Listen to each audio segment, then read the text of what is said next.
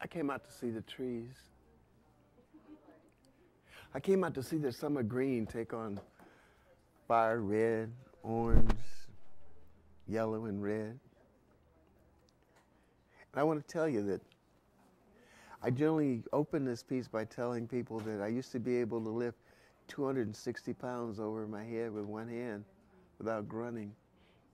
And I, I really took pride in that. And then one day I found myself lying on the floor dying, and I couldn't even lift my own head. And I know I should have been thinking, oh, Lord, save me, or something in that order, but I've, I've asked forgiveness for it, but that, that wasn't what I was thinking, because what I was thinking was, damn, this sure isn't like the movies. and I, I got to thinking that there was this little flower that grew up between the cracks in the cement right outside my door. And every morning when I go to work, I'd step over it because I knew it was there and I didn't want to hurt this little flower. Same thing when I came home in the evening. But I didn't notice it. It had these little fine blue lines, these little veins that ran through. Never noticed it because I was moving too fast to see the road signs.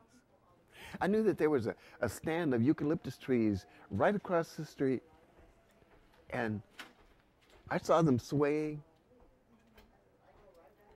I saw the leaves falling, but I never equated them with, gee, it was like my friends and my relatives falling, falling.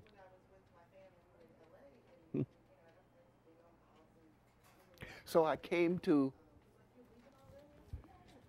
knowing that I, I wanted to pick up those leaves. And I know, I know I really shouldn't be there.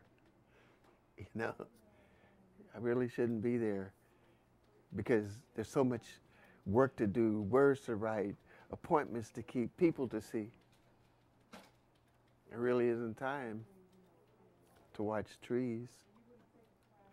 But I ask you to understand, though, you see, if I hadn't come today, Lord knows I, I wouldn't have come tomorrow. And soon it'll be too late. But you see, when the trees burst into flame, there's, there's a sudden glory that comes in, and it dies quickly. And I've learned now from the past that I must take this moment when where I can find it. But too soon, these, these same bright leaves, the same fire will fall and turn to crackling ashes at my feet. Why, I ask, why, why must these leaves, these bright leaves, fall so soon? Why? Why must these leaves fall on the leaf littered earth that I live and sleep and work and dream on?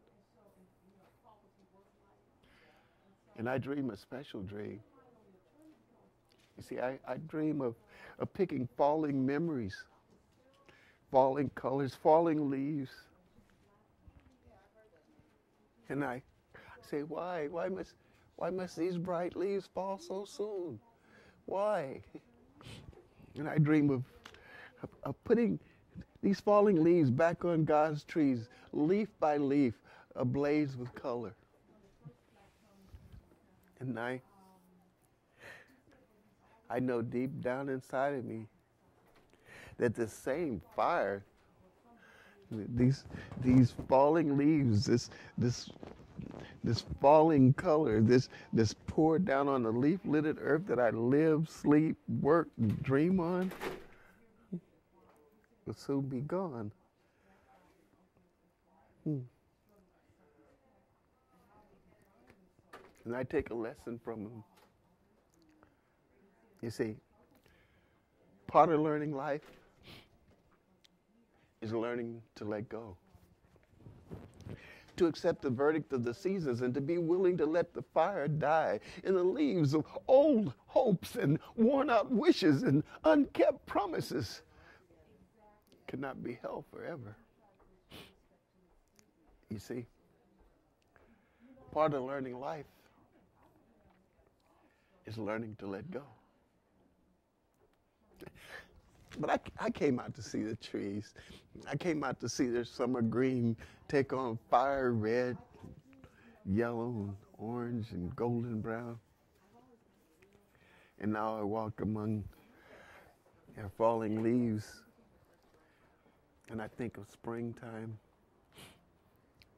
and I think of you as I walk beneath the trees.